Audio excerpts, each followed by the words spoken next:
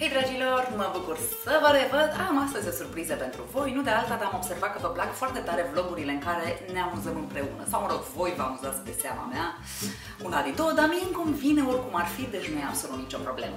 Despre ce e vorba?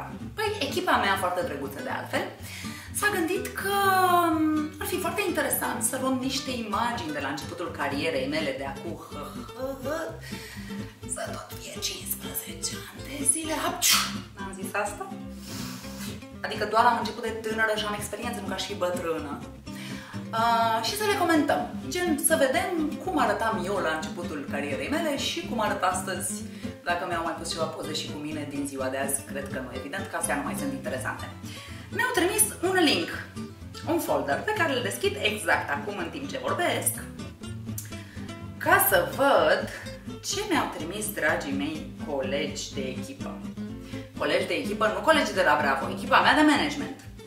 Să se știe. O să vi și spun la un moment dat care sunt, ca să știți în cine aruncați cu roșii uscate dacă nu vă place ceva. Bun, ia să vedem noi. Oh, ferească Dumnezeu! Uh, ce-ai făcut, micule? ia, că vă arăt. Uh, le-au pus și în ordine cronologică, să înțelegeți. Uh, nu de alta, dar ca să văd uh, transformarea. Michael Jackson, ce ai făcut, boss? Uh, asta este poza despre care vorbesc acum. Uh, asta e poza de la începutul uh, carierei mele. Uh, în care ochii erau foarte bulbucați, sprâncenele extrem de subțiri, buzele mm, cam la fel, că nu mi-am făcut uh, cine știe ce la buze. Nasul e la fel măcar atât, urechile, urechile, să nu uităm urechile superbe și bretonul. Bretonul frumos și șuvițele și părul scărițat așa, ceva absolut divin, fără sutien, că se purta pe vremea respectivă fără sutien. Adică cu înaintările la înaintare, înțelegeți ce zic? O brățăruică pe mână, un inel, ceva fashion, bravo, ai stil, sora mea, ești divin, îmi place mult și aveam ce credeți. O, oh, unghii, unghii tipsuri, tipsuri, făcute French, manicură French. Divin și aveam ce credeți, și o înghețată în mână. Adică pe principiu trofeu Oscar sau ceva de genul, aveam o înghețată super. Îmi place mult, uh, cred că sunt la mall undeva pentru că scările rulante, eu fată de la țară venită la București cum ar veni, uh, chiar mi s-a părut interesant să-mi fac o poză cu scările rulante. Înțelegeți ce zic? La mine acolo nu existau scări rulante. Bine că am ajuns la capitală. Cred că este suficient asta. Ia, ce mai găsim? Tot în ordine cronologică, da? Oh, deja aici m-am blonzise. Uh, ce ăsta cercei aveam. Asta e poza? Îmi plac cercei. Alo, focus. Pe cercei. Pe ochi ăsta. Pe breton. Pe ce vedeți voi. Nu pe... Ceva divin.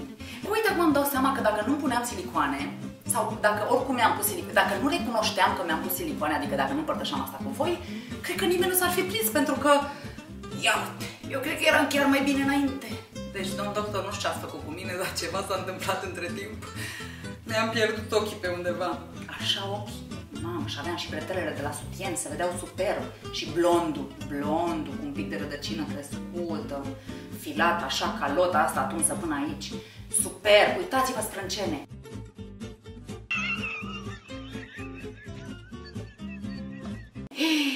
Ioi, tu l-ai doamne, tu, n-ai cum, deci fizic, n-ai cum așa sprâncene?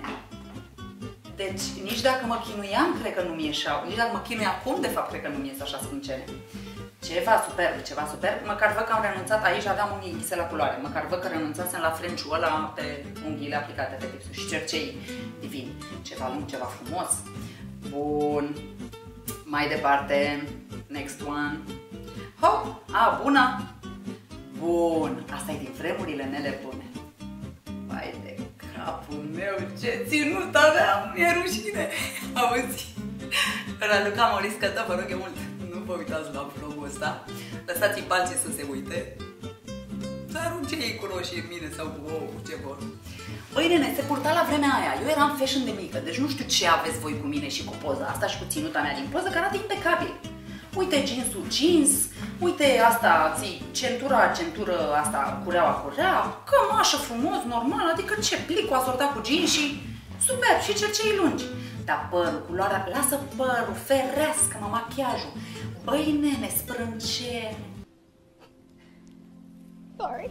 Uitați-vă puțin, uitați-vă puțin cum arătam. Și buzele erau și atunci făcute peste contur, dar atunci pe lângă creionul ăsta pe care îl folosesc acum, pe care tot peste contur îl dau, evident că vreau buzele mai mari, uh, aveam glos. Puneam glos mult, ca să arate și mai înțelege, e ceva super. Îmi place mult părul, e... Puh, multă lume a omorât pentru părul ăsta al meu. Yeah, boy. Da, bine că nu mai există vopseaua respectivă. După aia, hați ce ai pățit. Ioi! Tu l-ai, Doamne, ferească Dumnezeu. Asta, să vedeți, asta nici nu era poza. Ia uitați-o. Deci ce bine îmi pare că n-au fost atenți. Fiți atenți, voi. Uh, asta e de pe vremea când lucram la Canal D. Uh, tot la Canal D. Uh, și prezentam emisiunea Magic Taxi, cred că se numea. Da. Era un reality show pe timp de vară uh, și așa arăta părul meu. Uh, după ce, asta cred că era la vreo 3 sau 4 luni, după ce fizic îmi căsuse tot părul din cap. Cum s-a întâmplat asta? Eram blondă, da, și eu am vrut să mă închid.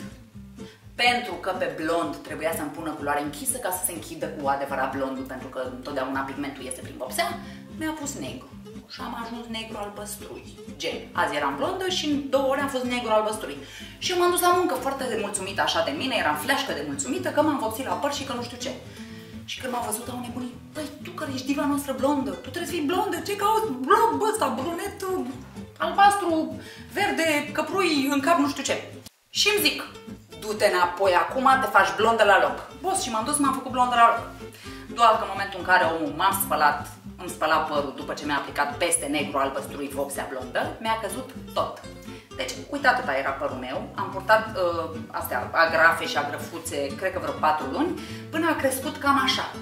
Deci să înțelegeți, cum era bretonul, era tot părul meu. Aici îl băgam pe după urechi, că era aceeași lungime cu bretonul. Și asta era o cudiță de rețușcă, ce mai rămâse să la spate ceva. Deci așa arăta părul meu. Da, de unde pornisem? Pornisem de la faptul că pe acest păr lungimea asta, mi-am făcut creț. Da, ce creț? Afro. Păi băiatul, există o poză cu mine afro, eram uite așa. În soare, ceva super! Mă bucur că n-au găsit-o și că n-au fost atenți. Asta până una alta îmi place, că e drăguță. Ce mă enervați, credeați voi că nu știu ce. Oh, și cu asta ce ai făcut, Gigicule? Da. Pe principiu era moda cu breton. Mi-am dorit și eu să-mi fac breton, doar că nu am întrebat înainte cum o să-mi stea. Și îmi stătea cam așa. Adică zrăguță sau ce? Și pe lângă asta purtam niște gene de alea bandă false lipite, uh, cu lipici. Acum port extensii de gene, că m-am uh, emancipat, dragă, și eu. Da, atunci purtam de alea. Se vedea ceva super. Asta e captură dintr-o emisiune. Văd că mi-au rămas cercei ăștia mari așa și lungi de-a lungul timpului. Toate că asta e poză de, cred că vreo puh, 5, cred că poate 6 ani de la cea prima cu cercei unde eram blondă. Deci așa am stătea cu breton. Ador ceva divin. Vreți să vă arăt asta? Sunteți siguri? Oh my god, god! Păi dar nu vă mai puteți concentra la nimic dacă vă arăt poza asta. Ia, ziceți voi.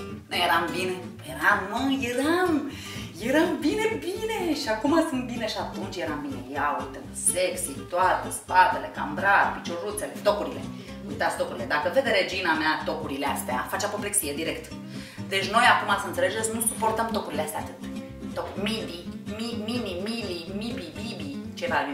Bă, ori ai un toc, ori nu mai ai tocuț. Sau cel puțin la pantofi ăștia, că acum da, sunt ciocatele alea mișto, sunt cizmele cu tocuri de-astea care se poartă, sunt cool, sunt la modă. Dar nu genul ăsta de pantofi. Ceva gen mamaia și mamaia de la țară, cred că tot genul ăsta de pantofi când se duce la nuntă. Și eu am purtat la pictorial. Ceva super. Uh, în rest eram divină, ce vreți să vă mai spun. Așa, după care, ce să vă mai arăt? Deja aici eram drăguță, sprâncenele își reveneau, machiajul nu prea, uh, Sânzi și cu Ana erau la locul lor, ce, nu mai e interesant. Deci alea primele erau super interesante, mă bucur că și-au făcut colegii treaba uh, impecabil astăzi. Ia uite-o și asta, e divină, uite, superb. Ia uite, asta deja e altceva. Mai e altceva, parcă gata, ajunsesem și eu la București. Hai, Doamne ajută, fată, că bine te țin de-a lungul timpului. Ești mai bine acum decât ieri. Ești mai bine acum, fată, decât erai în trecut. Ești nebun. Bravo, îmi place de tine. Chiar îmi place de tine. Bravo, sunt mândră. Bravo, fată, bravo. tot așa soții și de acum înainte. Thank you very much. Și pe voi ce să mai vă pup și la revedere, că nu vreau să vă plictisesc. Am vrut numai să râdem împreună. Bine, eu n-am râs foarte tare, că știți cum e, să râs de tine e un pic cam greu. Am râs în sufletul meu, s-a văzut? Mă bucur. Vă pup! Ne vedem data viitoare!